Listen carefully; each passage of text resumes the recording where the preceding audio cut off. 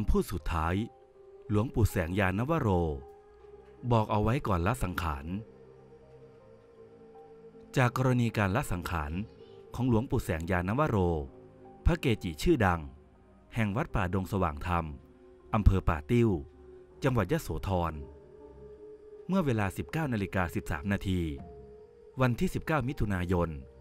2560 สิริอายุ 99 ปี 75พรรษา ซึ่งทางลูกศิษย์ได้กล่าวเอาไว้ว่า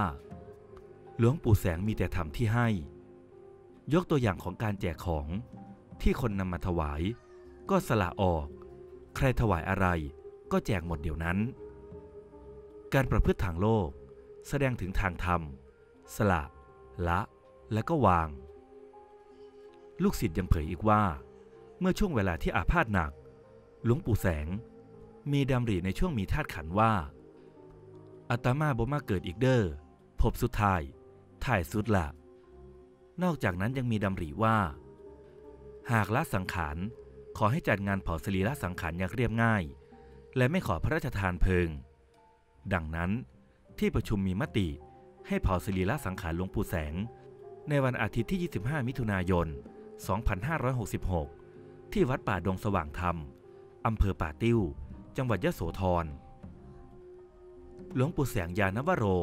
เล่าถึงอดีตชาติ เฮาเคยเป็นกษัตริย์ สื่อแสนคำ แต่ก่อนเฮาเคยเกิดเป็นกษัตริย์ยุ่นีหลายภพหลายชาติ เที่ยวเกิดเที่ยวดับ เฮาเป็นกษัตริย์ ที่เปี่ยมไปด้วยเมตตา ใช่เมตตานำอาตมาบ่เคยขาคนบ่เคยขาสัตว์เลย จังว่าอาตมาอายุยืนเด้อ เขตปกครองได้เป็นกษัตริย์มหาราชอยู่ เขตนี้กว้างไปแห้งเด้อจะรถลอยเอ็ด สารคามทางเหนือกระสุดอุบลราชธานีศรีสะเกดมาเหสีเฮ้ากะหลาย เมียเกาสนมหลาย ๆ แต่สมัยนั้น แต่เฮ้าบ่ข่อยมีลูกดอก มีแต่เมียหลาย มีแต่เมตตาคนอื่นเขา ครั้งแรกหาปีที่แล้ว ที่อาตมามาจากอุบลราชธานี มาสั่งวัดป่าดงสว่างถ้ำแห่งนี้ มาถึงก็มีแต่ป่า มันเป็นป่าสาเกา เทวบุตร เทวดา วิญญาณ บริวารเก่าสมัยเฮาเป็นกษัตริย์ มากกันหลายๆ มากกันผืบเลย มืดฝ่ามั่วดิน ว่าแมนแต่สิเบียดกันคักๆ เขามาฟังธรรม เขาดีใจเห็นอาตมามาโปรดเมตตาเฮาบ่ได้รับบ่ได้นอนเลย พวกเทพเทวดา เทพบุตรบ่พากันกลับ ยิงมาเบิงเพิ่มขึ้นเรื่อยๆ จนเฮาฉันเพศอีกมือหนึ่ง เขาจังกราบเฮาลากกลับไป มาอยู่เที่ยวนี้เฮากับมาโปรดมาเมตตา ให้บริวารที่ยังหลงเหลือ